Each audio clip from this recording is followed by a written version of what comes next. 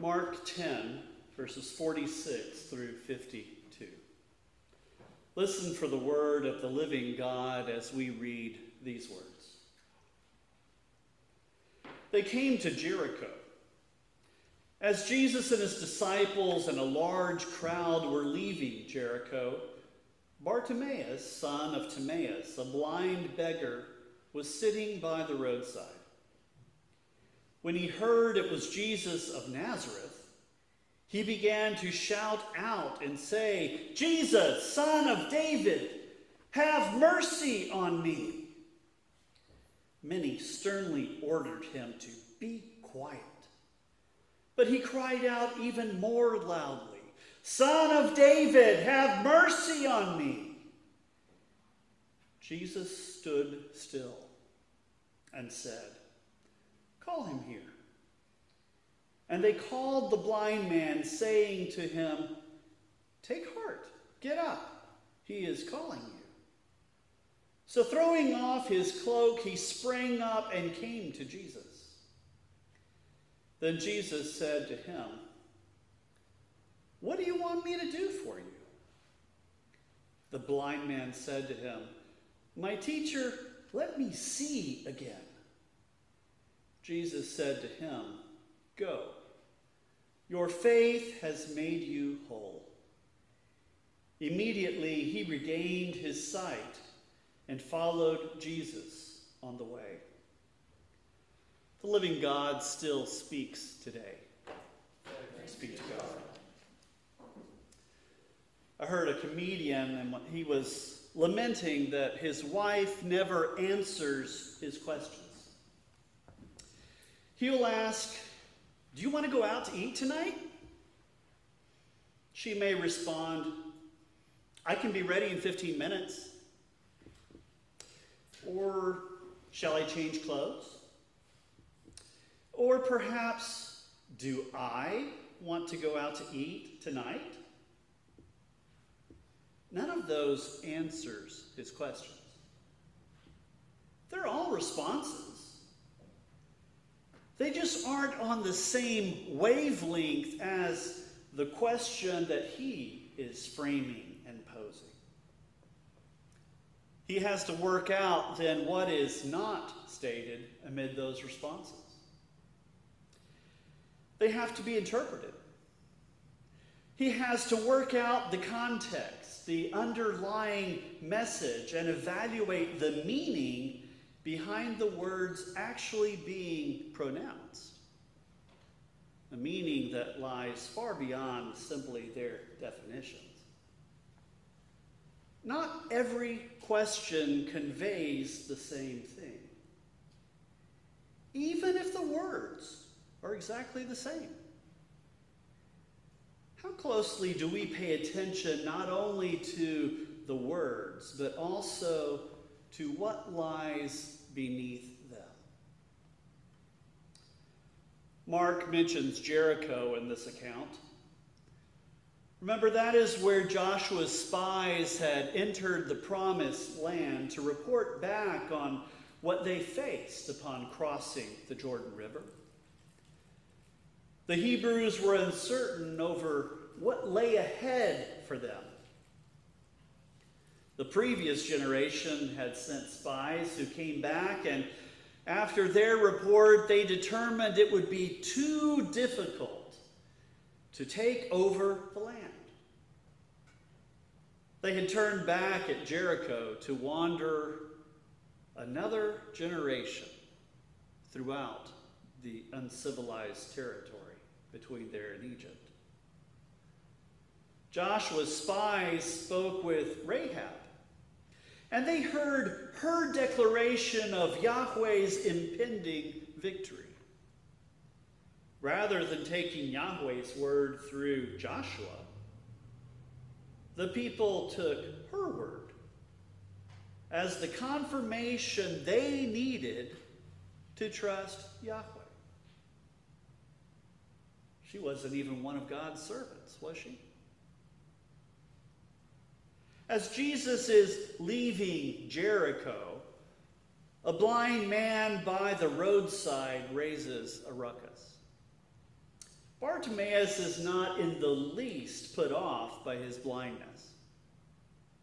He refuses to be silenced by the crowd that he is actively disturbing. The more they shushed him, the louder he became, crying out and asking Jesus to intervene in mercy. He calls Jesus Son of David. That's a declaration that we have not heard elsewhere in, John, in Mark's Gospel. It's a declaration of trust in Jesus that reaches beyond where the disciples seem to have come. It emphasizes Jesus' role at the head of God's reign. This is no title that Jesus has claimed for himself. This declaration of trust stands out as unique among all of Jesus' encounters with those who were following him. Jesus stops. He halts his journey upon hearing this man. That is also something different in Mark's descriptions of Jesus' interactions. He doesn't normally stop and stand still. When he does, something significant is going on. Jesus halts the procession and he summons Bartimaeus before him. Our attention, as well as that of the disciples and the crowd, shift. They shift to Bartimaeus as he makes his way to Jesus. There were plenty of needy people in the crowd. It's easy to believe and imagine that. There were many people in Israel who were needy. People in Jericho, in the surrounding territory, in the towns and villages. It was not uncommon for people to become ill, to be injured, to struggle with some disease. Jesus was constantly bombarded with pleas for his attention, for healing, for comfort. With Bartimaeus, however, Jesus' response ramps up a level. It's as if Mark is telling us, pay attention. Listen up closely now. Don't miss it. Hearing Jesus had called him forward, Bartimaeus flings off his cloak which was likely also his blanket, his sleeping mat. It was his only protection against the elements. He throws it off, however, to make his way to Jesus, unburdened. The crowd made a way for him, guiding him to Jesus, wondering what in the world Jesus was up to. When he made it before Jesus, Jesus asked him, What do you want me to do for you? Now, I don't know what about you, but that is not the response I would have been seeking. Everyone knew Bartimaeus was blind. What could Bartimaeus possibly want from Jesus? That's not a very hard question to answer or figure out, is it? What could he possibly want other than, or more desperately than, to be able to see? There is no way that you can convince me that Jesus could not recognize that this man was blind. Jesus had encountered blind people before. Two chapters ago in Mark, he had healed a man who was blind. John recounts a different story of Jesus healing a man born blind. Why would Jesus ask what appears to be such a stupid question? He already knew the answer. Everyone did. According to my television, A good criminal lawyer never asks a question in court if he does not already know the answer. Isn't that how that works? Guys, if your wife asks you whose underwear is on the floor, she already knows the answer. Identifying the owner is not what she's after. Jesus was not asking Bartimaeus what he wanted as a means to get new information from him.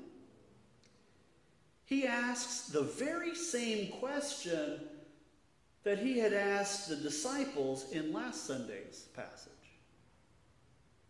What do you want me to do for you? James and John had made one of those say yes requests. Not ready to hand them a blank check, Jesus had pressed them to be more specific about what it was they were asking. Now he asks Bartimaeus that very same question. I can kind of picture Jesus glancing over at James and John when he asks it. As though to say, listen up. Listen to how you should have responded when I asked you. This is what you should have been asking me. Bartimaeus, who had been relegating to begging at the roadside, is the one through whom God's message would reach these disciples. It's through this man the religious community had passed off as irrelevant or even under God's judgment that they would understand what they should be seeking in Jesus my teacher. Let me see again. Bartimaeus did not seek out Jesus quietly. He was unashamed to make his request known. Indeed, he had no reason in the world to keep it quiet. He had a desperate need. Everyone around him clearly recognized that need and its desperation. Timidity to ask Jesus for healing and vision would not have accomplished anything more than what he already experienced daily as his lot in life.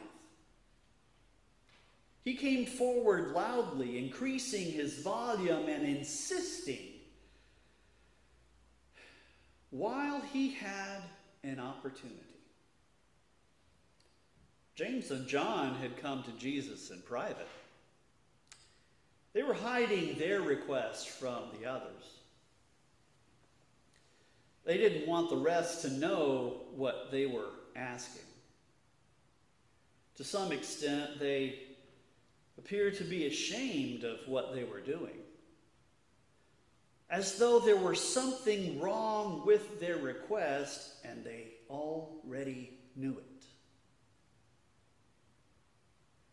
There was. They just weren't willing to accept we jump back to that feature story of Jericho, Rahab would normally have been ignored as having nothing of import to share. She was the one to tell the spies that Yahweh had indeed already won the upcoming battle in Jericho. Why her? She wasn't one of the Hebrews. She didn't serve Yahweh. She was no prophet. She was a very unlikely candidate to serve as prophet and mouthpiece to the Hebrews, wasn't she? She was the one, however, who delivered the message that Yahweh was in charge and had their well being well in hand. Bartimaeus was just as unlikely a candidate to teach Jesus' disciples. Through his response, however, Jesus led them to another stage of personal reflection, recognizing that their request did not fit within the framework of God's reign. While the disciples had ample eyesight, they were struggling to see. They could not understand just how different in character God's reign was to all they knew of political and social realities and their hierarchies. Jesus had told them more than once that God's reign was about service, that God's reign was about love, about feeding, about healing, about forgiving, about reconciling. They had all heard all of those words, hadn't they? They had even seen Jesus' actions right up close, reflecting everything he had been telling that they needed to be doing, and that these were the things of God's reign. It was never about power, privilege, victory in battle, wealth, or prominence. Somehow, despite the many ways Jesus had told them, they failed to see the truth. They failed to grasp what Jesus was teaching them. They had eyes that worked, but they could not make sense of what they saw right in front of them. They heard Jesus' words, but did not understand. Too many of us remain as vision challenged as they so often. When will we learn to seek new vision? To be redirected by Christ?